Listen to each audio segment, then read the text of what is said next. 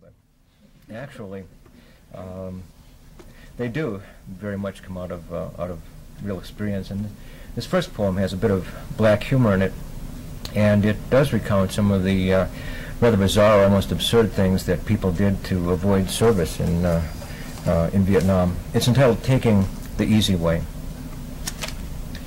A friend of mine shot himself in the foot, carefully aimed not to shatter a bone. Said he was just cleaning his 22 before going into the Air Force. All it did was delay his time by three weeks. Hardly worth it. Another guy, actually a friend of a friend in San Francisco at the Art Institute, got drunk, popped some pills, bent his arm backwards on a table, and had someone jump on his elbow, breaking it the wrong way. Splinters of bone jutted out of his flesh and his face, just as white as his bone. Jesus. All that just to avoid the draft, and with a mind like that, he would have done just fine in Vietnam.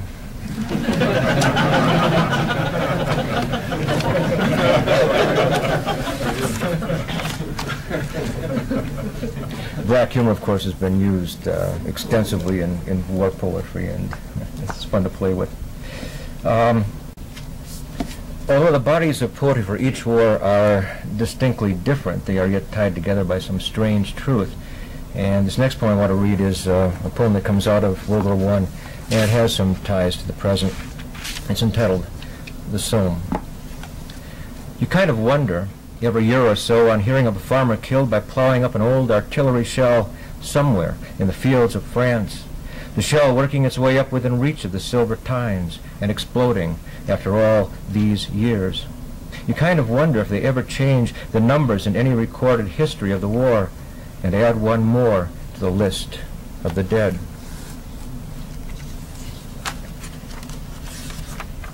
One of my first assignments after I graduated from the infantry school at, uh, at Fort Benning was to run the gas chambers at, at Benning. And I have this poem that comes out of that experience. It's entitled CBR, you know what that is, chemical, biological, radiological. And this one is dedicated to the uh, M17A1 protective mask. At the end of the day, after all that good training, first the block of solid instruction in the bleachers, the practical demonstrations, all that practice with the mask, putting it on, clearing it, testing the seal, looking like alien creatures from some grade B movie in the 50s, and then the gas chambers. First, CS, going in masked, black rubber tight to the face, flutter valve sucking in and out with each labored breath and always the smell, the taste of rubber and plastic, swimming in that swirl of smoke, dark, highly contaminated, an atmosphere from some other planet, hot and uninhabitable. Then, taking it off, reciting for the Sarge name, rank, serial number, maybe a question from the 12 standing orders, and then, with tears streaming down, they're let loose into the fresh, warm air that clears their eyes and lungs, brings home the truth that the mask works.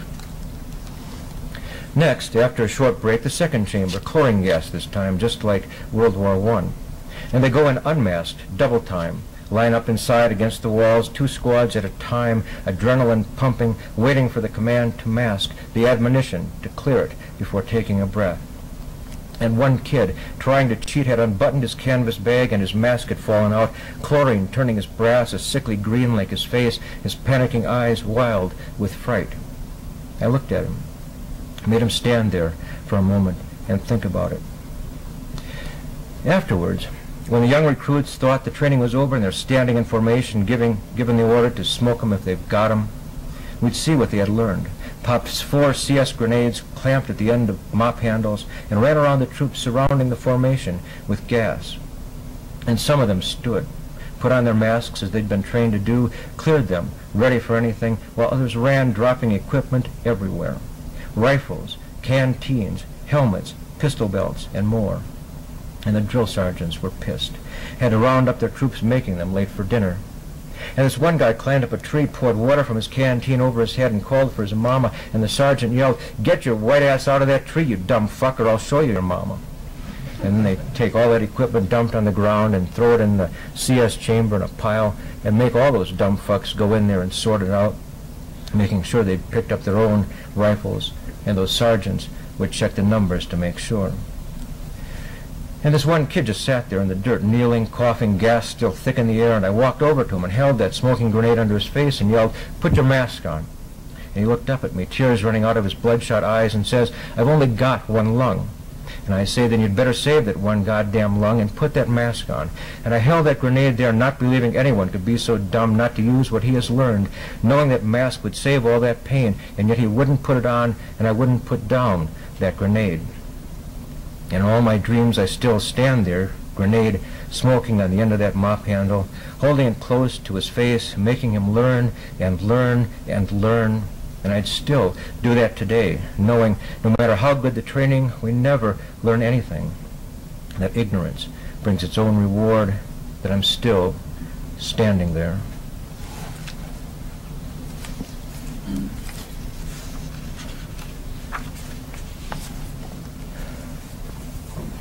This is a poem about um, coming back. It's entitled Back in the Land of the Big PX. Once, when I was sick, I woke up sweating, my sheets wet at noon in August in Philadelphia. The air in my apartment stale, the air outside rank with the smell of a stale city in summer. A fishhawker passed by, crying out with some old world charm, I looked out into the street, saw two cops pick up their weekly stash, small bills and some coke from the dudes who sold dope every Thursday from noon until 3. I went to the back window and looked out over the black tar roof of the second floor apartment below me and threw out some bread for the birds. A dozen pigeons came within minutes, their snotty beaks pecking at crusts, their pink feet scrabbling over oily tar, softening in city heat. I picked up a slingshot I'd made and placed a stove bolt in its leather pouch. I pulled back, aiming for the broad back of a pigeon pecking away only a few feet below. The bolt skimmed off his back and embedded in tar.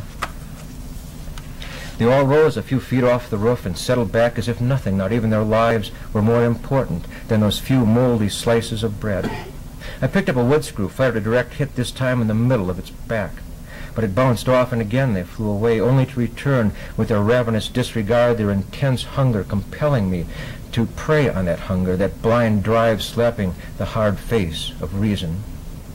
I found another projectile, a nail this time, and aimed at that pigeon so damned unfazed by the hit that he took. I pulled back as far as I could and released. The nail sliced through his feathers and stuck into his back as he lifted above the roof. I watched him circle over row houses across the alley, backyards filled with trash, a dead cat swelling in the sun. I threw out more bread, and they all came back, including the one I'd stuck with that nail, but the nail had worked out, and he ate as if nothing had happened. I laughed. Through the sweat, the smell of hot tar, and I wished I had never come home. Strangely, I have been um, writing a number of um, poems that combine baseball and, and Vietnam. And this first one I'm going to read is entitled Something Like a War, and it comes from a, uh, a line that uh, Ty Cobb had said. Ty Cobb said baseball is something like a war, as if coming in with your spikes sharpened and high were the equivalent of, of flesh shredded by a fragmentation grenade or a booby-trapped 105 round. But the metaphor doesn't hold. Even if Albert Belle broke a shortstop's nose, dislocated his shoulder, and raked his spikes along the bone from ankle to knee as Belle ran out of his way between second and third, it wouldn't be even a mild skirmish between two friends drunk on a Saturday night and looking for trouble. Any good player could always pick himself up, dust his uniform off, and play the next day. Baseball is nothing like a war. There's another one of those poems from that, uh, that sequence. It's entitled Playing Baseball in the Army, Company Picnic, 1967. We practiced for weeks before playing the NCOs at the company picnic. And the colonel warned, they've got a pitcher, Sergeant Sims, who will put a spin on the ball so tight all you'll do is pop up to the infield nine times out of ten. And we did. We met Sims' arrogant proficiency the way we met the ball, one easy pop-up after another, until, in the middle innings, I cut it hard, sent it bounding over third, and waltzed in for a double. I looked at him and grinned. You won't do that again, Lieutenant, he said. but I did. Only I went the other way, hit a sucker pitch between first and second, had to slide as the right fielder broke in on the ball, making it a close one, and the hard tag stung, leaving a welt for a week. Sims didn't say anything, just stood on the mound rubbing the ball into his glove. But he handed me a beer after the game, and we talked of the great games we'd seen, the ones we'd played, or of players who made impossible plays. When he didn't come back to his wife and son, the son he played catch with after a long day on the ranges, training recruits, I remembered our company picnic, the game we'd played that afternoon, and I still think of those hard grounders, his pitches fast, burning across the plate, nicking the corners, except that one easy mistake, chest high, seeming to hang like a grenade, daring me to hit it. And I still call out to the mound, pitch it to me, Sarge, make it a good one, come on, pitch to me. The air, the fading sun hangs heavy over the plate.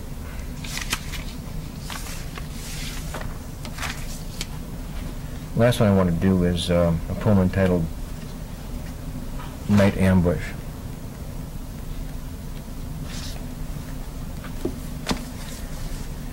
Every day he tells me he's put the war behind him. He doesn't watch the movies, doesn't read the books. The scars on his arm are covered always, even on the hottest days of summer. I tell him the story of my uncle, a veteran of World War II who fought on Okinawa. He grew a beard to cover the hollowed part of his reconstructed chin and jaw and went through life with everyone thinking he was eccentric, unshaven, and they jokingly called him Abe, never knowing his story, never the least concerned. Last night, the fireflies were thick in the backyard, points of light like tiny explosions in the distance, and we watched until the silence crawled into our bones and slept. Like children, we'd read to story after story, marking time like tracers. We have another beer and say good night. He leaves the same way he came with the same story. I go upstairs, read a story to my daughter, a story that ends strongly, properly, with closure strong as a door being shut after the lights are turned off. I turn on the hallway light, targeting the shadows and doorways, go downstairs, have a last beer before I close up the house for the night. My daughter wakes a while later, says there's something under her bed. I come up, say the darkness is her friend, it lets her sleep and dream. I tell her there is nothing there as I lift the dust ruffle and look underneath. I tell her there's nothing to be afraid of but I don't look into her questioning face, hoping she won't see, will never know that I'm still afraid of the dark. Thank you.